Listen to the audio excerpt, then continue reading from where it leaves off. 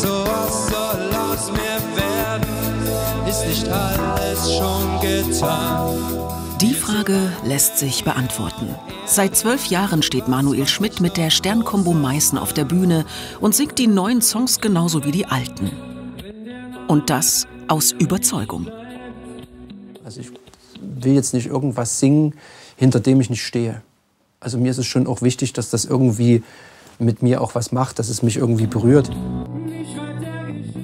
Stern Meißen ist inzwischen 60 Jahre alt. Ihr Frontmann 39 Jahre jung. Er hatte schon als Kind die Plattensammlung seiner Eltern verinnerlicht. Das verblüffte die Band, als sie 2012 einen neuen Sänger suchte. Ich bin dann ins Studio und dann haben sie mich erst mal machen lassen. Thomas Kurzhals fragte mich, na, was möchtest du denn jetzt singen? Womit fangen wir denn an? Und natürlich habe ich dann gleich erst mal die große Klappe gehabt und gesagt, na, dann lass uns doch gleich das weiße Gold machen. 45 Minuten. Aus Spuk und Zauberdingen wird's niemals Gold. Es ist ein Art-Rock-Epos aus den 70ern. In diesem Sold. Und der letzte Ton war verklungen. Und ich erinnere mich dann an die Worte von Martin Schreier, der dann zu mir in seiner sächsischen Art sagte, jetzt muss ich dich erst mal beglückwünschen. Du bist der Erste, der das fehlerfrei gesungen hat.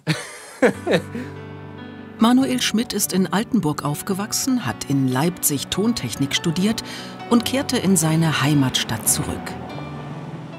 Im Großen und Ganzen lässt sich in Altenburg gut leben, weil, weil wir auch eine gute Kulturanbindung hier haben. Ne, Ich meine, wir haben ein, ein Theater, was, was äh, immerhin noch in, in, in fünf, äh, fünf Sparten abdeckt. Ne? Also wo hat man das schon? Musikalisch legte er schon in der Jugendband der katholischen Kirchgemeinde los. Heute ist er Mitglied im Gospelchor seiner Heimatstadt. Und hier lebt auch seine ehemalige Gesangslehrerin Helga Dressler. Sie ist eine musikalische Instanz in Altenburg. Hallo, wen haben wir denn da? Oh, Auch Manuels Eltern sind mit den Dresslers befreundet. Gemeinsames Schwelgen in Erinnerungen. Ich habe im Stillen immer bewundert, dass er eben so zielstrebig und mit einer äh, beneidenswerten natürlichen Veranlagung ausgestattet war. Also dieses Ich, ich bin ich, das will ich euch sagen und das sage ich mit meinen Mitteln. Und deshalb kommt auch so, so viel Persönlichkeit mit rüber. Für die Gesangslehrerin ist er eine Erfolgsgeschichte. Manuel Schmidt arbeitet auch an Soloprojekten. Einen Song widmete er seinem Freund und Vorgänger bei Stern Meißen, Reinhard Fissler.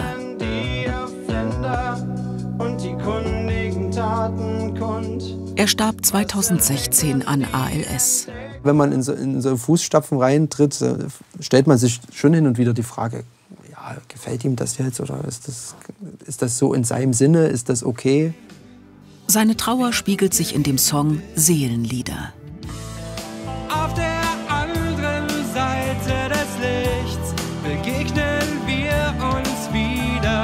Manuel Schmidt, der Katholik, verbindet mit dem Text schon so etwas wie Zuversicht.